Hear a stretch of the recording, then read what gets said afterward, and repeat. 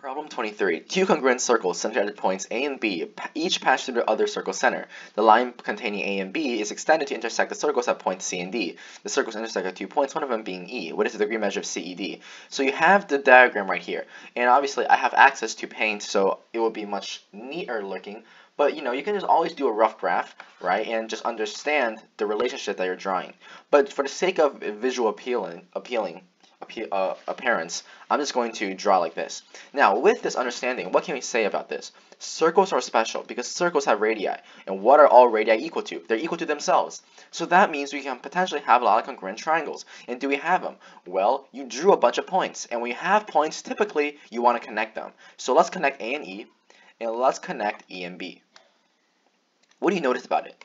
Well, AE is a radius right? Because AE, right, A is the center. And we know that BE is also a radius, but they're just congruent circles, so they have the same radius. If that's the case, what is AB? Well, AB passed through each pass through each circle center. So that means by definition, this is another radius.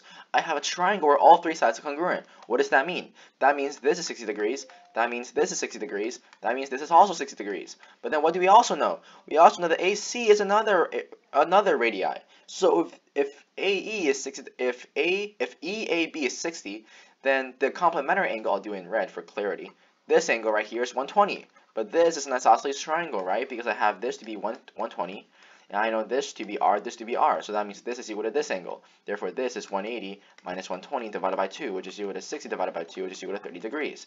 If that is equal to 30 degrees, then what does this mean? By symmetry, this is also equal to 30 degrees. What are we trying to find? We are trying to find the measure of CED. CED is this entire angle. So CED would be equal to what? Since CED has the sum of its angles to be 180, that's 180 minus 60, which is equal to 120. Therefore, your final answer will be answer choice C.